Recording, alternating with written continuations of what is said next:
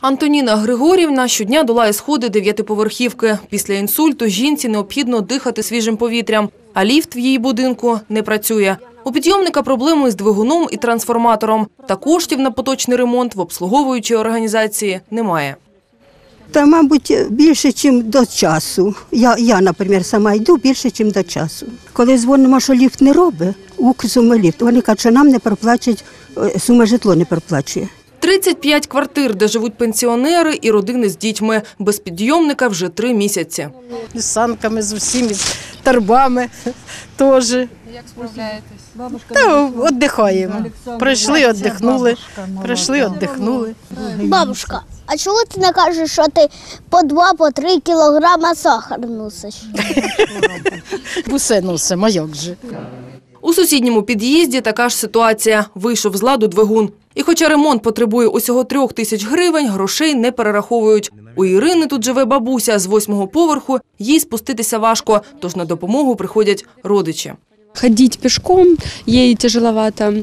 Да и вообще, как я поняла, что много пенсионеров все-таки живут в подъезде и тяжеловато. А так как она платит ежемесячно регулярно, то, конечно, это вызывает большое недовольство. Она обращалась по поводу в эксплуатирующую эту организацию. Я так поняла, что деньги перечис- туда не перечисляются. Поточні ремонти у цих будинках завмерли через суперечку комунального підприємства «Сумижитло», що є балансоутримувачем ліфтів, із обслуговуючою організацією «Укрсумиліфт». Останній не сплатили за надані послуги. Виконані до листопада роботи «Укрсумиліфт» оцінює у понад півтора мільйони гривень. 300 тисяч у КП «Сумижитло» вже відсудили. Таким же шляхом можуть піти інші ліфтовики. Рембут, що обслуговує 123 підйомника, теж недоотримав від комунального підприємства зароблені кошти. На сьогоднішній день 300 тисяч сума і житло заборгувало Рембуду. Я думаю, що найближчими днями я зустрінуся з керівництвом суми житло. Якщо не буде проєкту вирішення цього питання, звичайно, я змушений буду звертатися до суду, тому що на сьогоднішній день я, в мене немає змоги заплатити заробітну плату працівникам. Я використав всі свої ресурси, які були, і на сьогоднішній день вони закінчилися.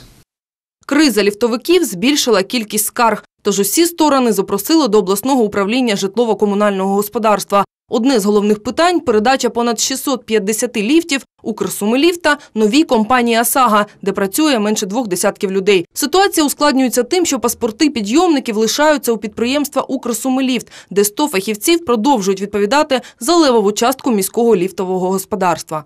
Действительно, ситуация на самом деле сегодня угрожающая и может привести к таким последствиям, которые на сегодняшний день нежелательны.